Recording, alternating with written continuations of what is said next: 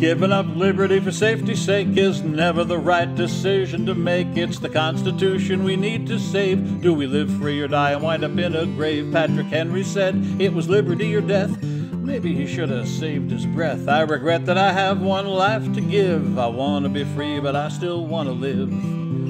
It's common sense or the Constitution. The founding fathers gave us a voice.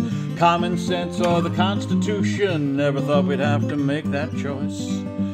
Well, they have a vaccine for polio, measles, mumps, and smallpox. Now I know they're working on a vaccine for COVID 19. All this quarantine togetherness is really obscene. Said they might have it in a year or two and might kill my family before they're through. Life, liberty, and happiness, a memory. We want to go back to how it used to be.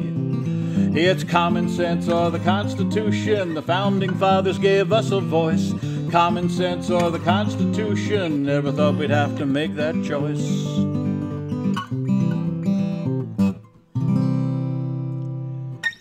And may God bless the United States of America.